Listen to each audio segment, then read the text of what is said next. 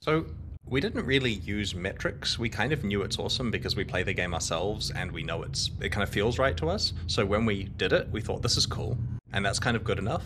And sure, if players absolutely hated it, we would have like, you know, had a second thought about that, but we didn't look at metrics, you know? I mean, here's an interesting thing, right? If you said to me, what was player retention like last league? I would have said absolutely amazing. Best ever. People played more and all this amazing stuff. But if you look at the numbers, they quit in droves when Lost Ark came out because you can't miss the release of that game, right? And then Elden Ring came out. Like there was no way that people were yeah. going to get the full in-game experience. But yet, I still feel that Endgame had the best retention because the players who happened to not be interested in the other two games played so much more than usual. And so, to some extent, because a lot of our community went to play those really good other RPGs, we're expecting this is the actual release of the end game for them. Like, there are so many people who and we're ignoring the fact that Diablo Immortal comes out in a few weeks, by the way, guys. That's not a game. We're going to play Path of Exile.